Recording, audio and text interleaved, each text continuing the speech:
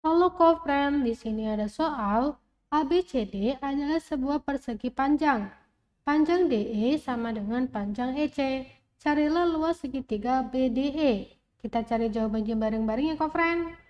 Diketahui DE adalah alas untuk segitiganya, di mana jika diperhatikan panjang DE setengah dari panjang DC. Maka untuk mencari panjang DE sama dengan setengah dikali 12 karena di sini DC merupakan panjang pada persegi panjang AD ABCD di mana panjang pada persegi panjang ABCD adalah 12 cm maka untuk mencari panjang DE yaitu setengah dikali 12 sama dengan 6 cm kemudian untuk tinggi segitiganya adalah sisi AD yaitu 9 cm yang ditanyakan luas segitiga BDE.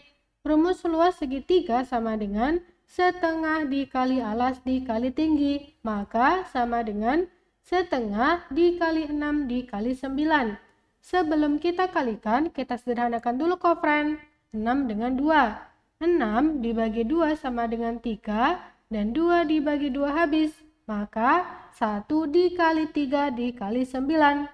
1 dikali 3 sama dengan 3.